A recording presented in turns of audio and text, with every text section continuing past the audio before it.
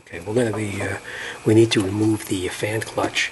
So in order to remove the fan clutch, we have to uh, remove the, uh, the shroud assembly. And the way you do that is, we're going to disconnect the hose right here.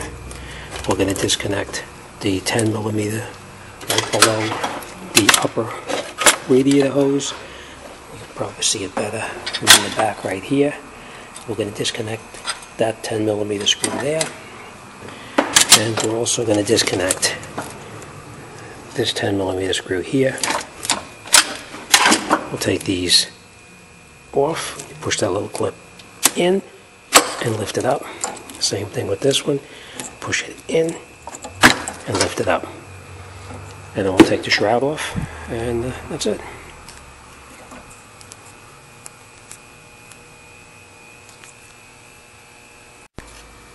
Okay, so they make a special tool to take this off. And it's actually, it's just a, a very large wrench that fits right onto the, to the water pump right here. Now, if you don't have the special tool, a lot of times you can snap these loose just by uh, using a hammer. You slide the tool over the fan clutch, and then you would just tap on it with the hammer to loosen it up. Um, uh, you remove them left hand. So you, you turn it to the left to get it to remove, and you turn it to the right to tighten it back up.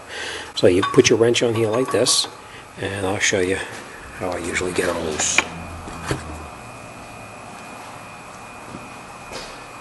When you know he's going to be turning left, take your hammer, just it, and give it a couple of good shots. And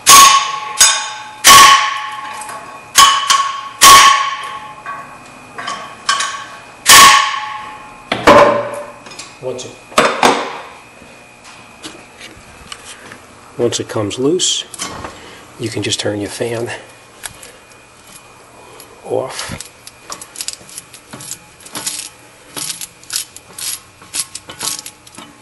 That's it. Remember it's left to take it off right to turn it on. Clockwise off. Counterclockwise off. Clockwise on we're waiting for the new one right now, but when you get the new one, this is exactly how you would put the new one back on. Reinstall it is you just catch the threads and turn it till it's all the way on. Take your wrench, put your wrench onto it, tighten it until it's as tight as you can, and I'll show you what we do next. Just take it it a couple of good shots.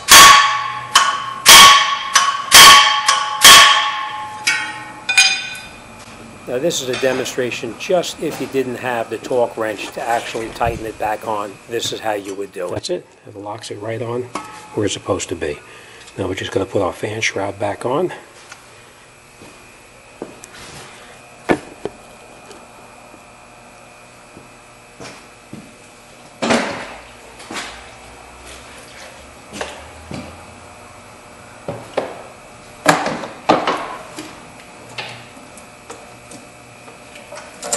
Make sure the wiring is out of the way.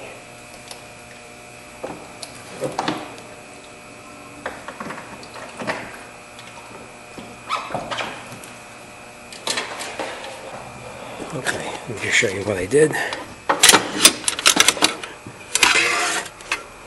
All the way down below the hose, there's a clip right here. Make sure that the upper part of the shroud and the lower part of the shroud come together. The clip is in its position where it belongs right here. And the same thing on this side over here. Make sure that your clip is back into the lower part of the shroud and then we're going to install the 10 millimeter bolts that hold the shroud to the radiator.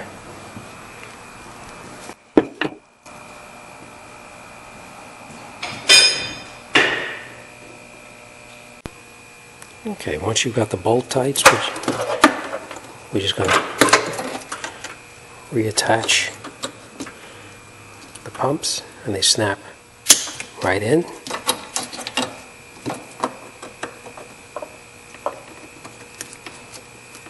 Okay. And the last thing we're going to do is reattach the hose for the coolant. And that's it.